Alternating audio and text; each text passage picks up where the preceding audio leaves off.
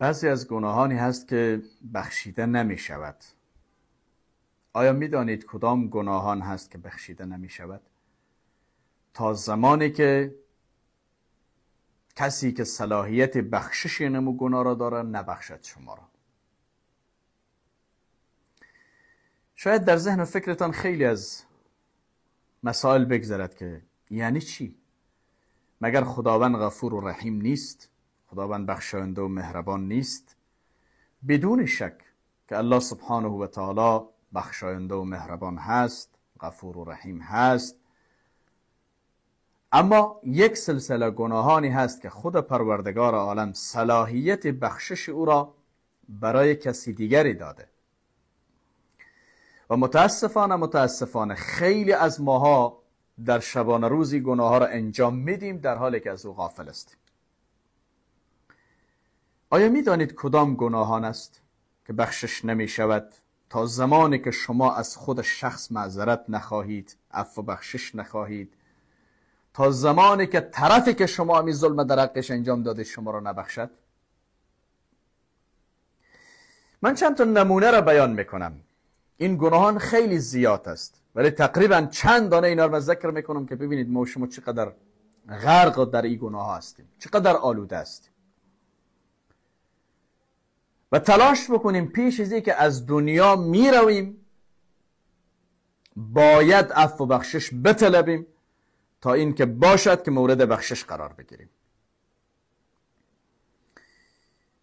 یکی از گناهان اشکی را ریختاندن دل را شکستن قلب را محزون کردن داغی را بر لب کسی گذاشتن.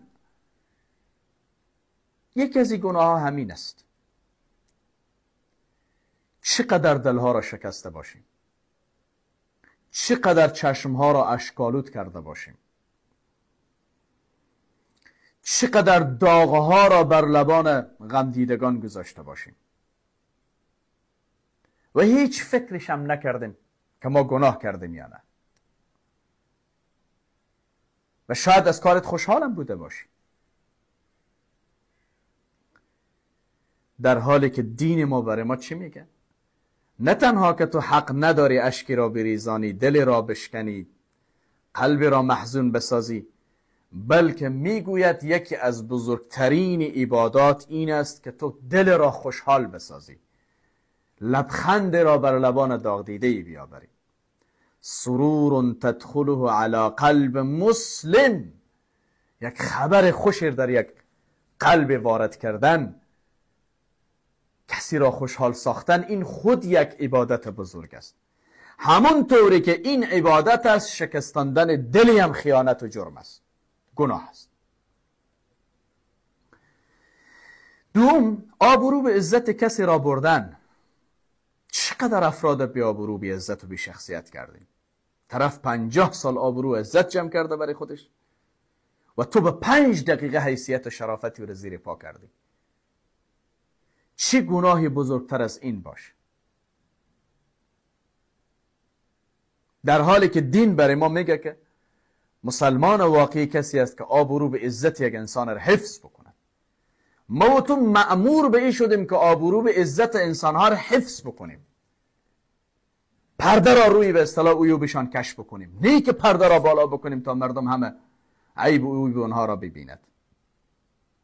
ولی ما دنبال عیب جویی هستیم. دنبال پیدا کردن نقص کسی هستیم. دنبال بی عزت کردن کسی هستیم. و حرفم از مسلمانی می‌زنیم. و از جمله گناهانی است که تا زمانی که فردی که بی عزت کرده تو را نبخشد الله این گناه را نمیبخشد. تو آبرو به عزت و حیثیتی را بردی. و نه تنها که الله تو را نمیبخشد بلکه تو هم در نمی سرنوشت بی عزتی و بی آبرویی دوچار میشی. منتظر نمی قضیه باش. اونهایی که شب و روز تیشه گرفتین به تخریب کردن شخصیت دیگران و بهتان بستن برای دیگران و بی عزت کردن دیگران.